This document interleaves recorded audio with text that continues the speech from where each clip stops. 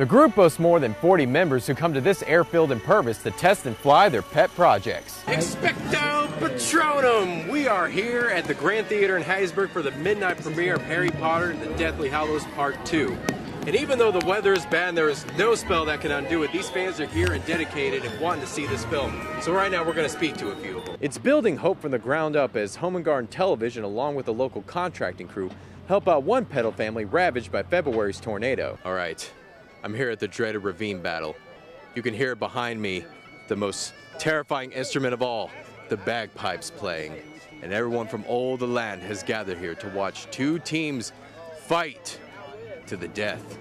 What's going to happen is that the two teams will meet in the middle and then separate, and that's when the battle begins. Consumers are rejoicing in the bill's passing but won't be able to tap the keg until July 1st when it becomes law. According to Kaylee Townsend, the man was staying in this apartment right behind me. The man crawled into the attic, busted through the firewall, and fell through their apartment. And coming to Bucks Village is a lot like stepping back in time. Join me, Mercer Morrison, as I go on the road to discover interesting places you may not have known about.